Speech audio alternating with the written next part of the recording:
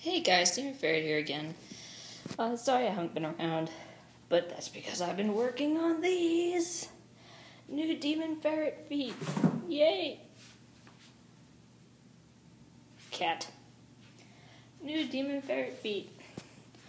Uh, these feet are to replace her old sock paws, which, to be completely honest, are falling apart.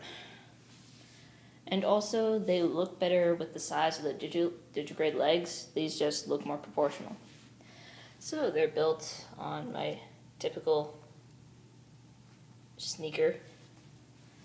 Uh, they have elastic around the top, obviously. It doesn't really do anything, but it makes the um, the edge right here of the fur more stable, so it doesn't uh, ravel, unravel, whatever. Then on the bottom. Oh, also these are resin small raptor claws from Vision Creations.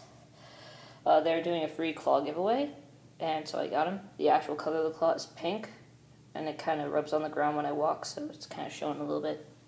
But that's okay. Then, set this up. Okay.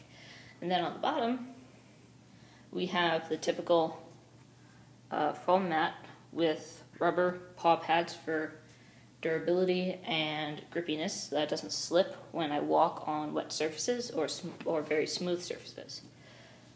So yeah, that's what I've been uh, that's what I've been working on. That's why I haven't been here.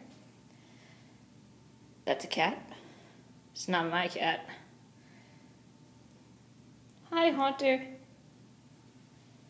But yeah, feet.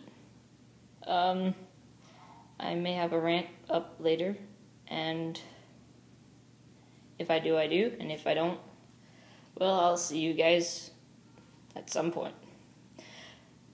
Bye.